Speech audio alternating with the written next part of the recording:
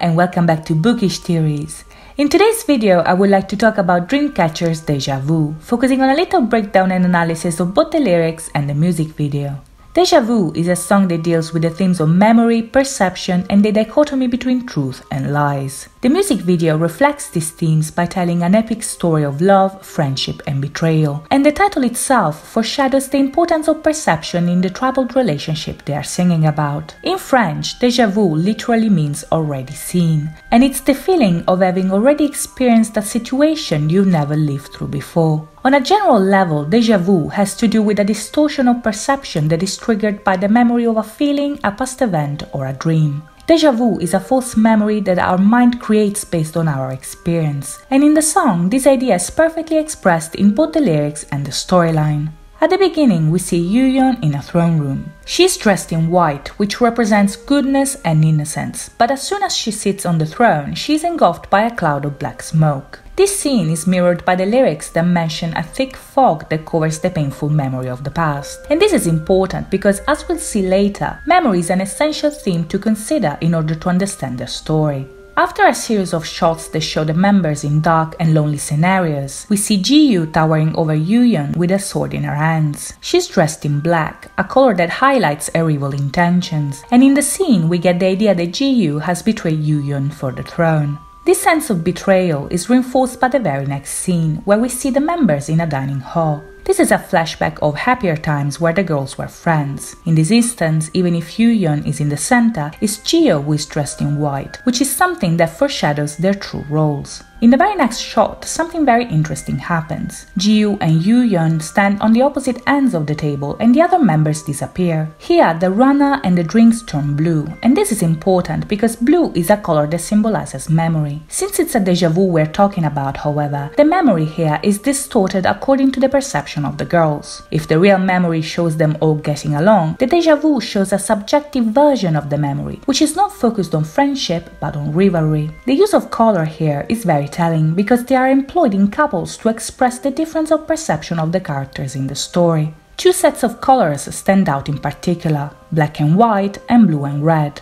Black and white obviously represent the dichotomy between good and evil, but as we see in the video, the people who wear them change according to the character's perception.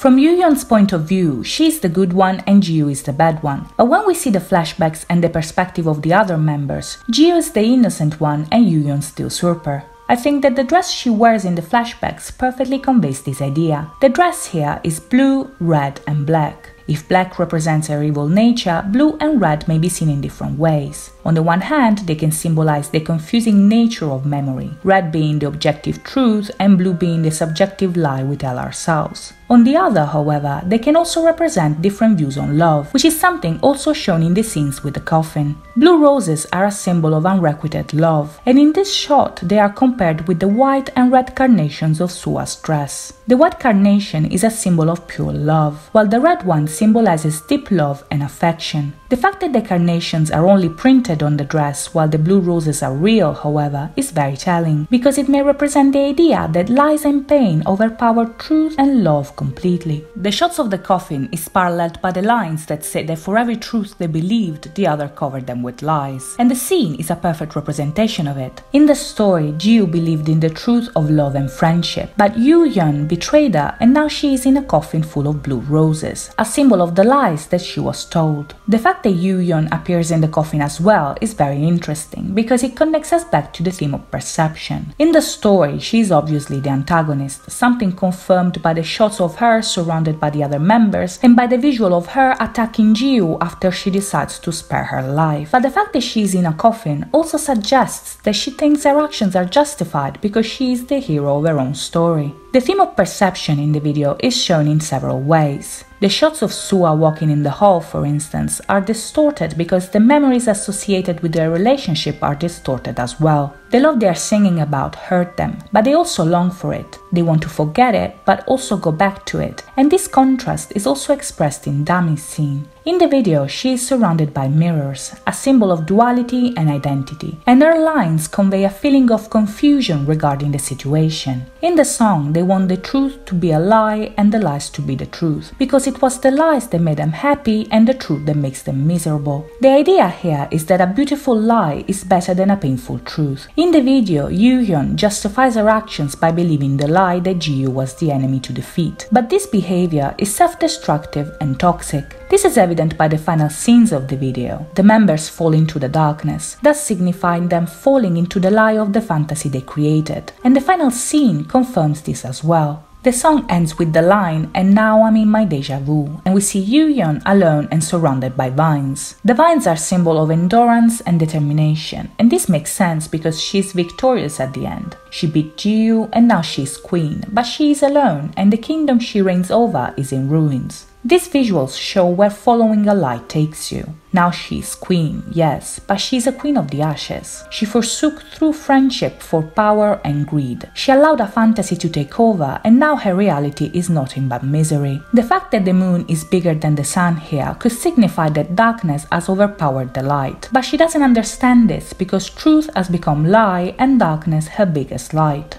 So that's it from me today. I hope you guys enjoyed this video and if you did or have any requests for future videos, please let me know in the comments down below. What did you think of Deja Vu? If you have time, please think about liking and subscribing. Thank you so much for watching. I'll see you next time. Bye bye.